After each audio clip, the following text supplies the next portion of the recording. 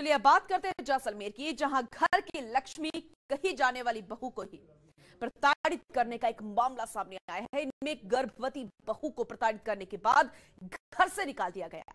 तो दूसरी मारपीट के बाद गंभीर हालत में अस्पताल में भर्ती है। ये रिपोर्ट देखिएगा।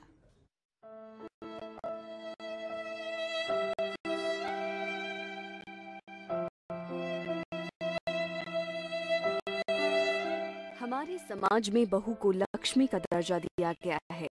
लेकिन कुछ लोग ऐसे भी हैं जो घर को खुशहाल बनाने वाली, इस लक्ष्मी का सम्मान करना तो दूर, उन्हें प्रताड़ित करने से भी नहीं हिचकते।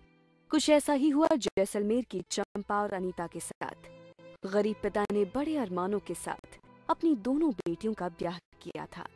लेकिन कुछ दिनों बाद ही इन्हें ससुराल में कम दहेज लाने का उलाहना दिया जाने लगा। और फिर बात मारपीट तक पहुँच गई। हद तो तब हो गई जब हाल ही में दोनों बहुओं को मारपीट के बाद ससुराल से निकाल दिया गया। इनमें से एक बहू तो तीन माह की गर्भवती है। वहीं दूसरी बहू मारपीट के बाद गंभीर हालत में अस्पताल में भर्ती है। इसके बाद दोनों बेटियों के पिता माधुराम ने महिला थाने में शिकायत दी, लेकिन कोई सुनवाई नहीं हुई। ऐसे में अब उसने महिला आयोग का दरवाज़ा खटखटाया है। बेटी साथ मारपीट हुई है। जो है इन दोनों ने की है। मैं यहाँ था नहीं। और वो बच्ची की हालत देखी, कल मैं थाने गया। उन्होंने कोई सुनाई नहीं की मेरी। कोई सुनाई नहीं की इंसाफ चाहते हैं। इधर महिला आयोग ने शिकायत मिलने के बाद अस्पताल पहुंचकर पीड़ित बहू की कुशल क्षेम पूछी है। वहीं पुलिस की ओर से की गई लापरवाही के बारे में एसपी को जानकारी दी है। तब जाकर मामला दर्ज किया है। दो लड़कियाँ हैं, गर्ग समाज की अनीता और चंपा।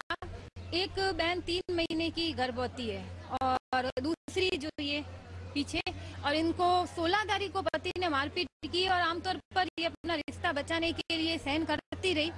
लेकिन 16 तारीख को मारपीट मुझे तो ये समझ में ये गरीब पिता पीछे खड़े हैं, उनकी आँखों में आँसू है।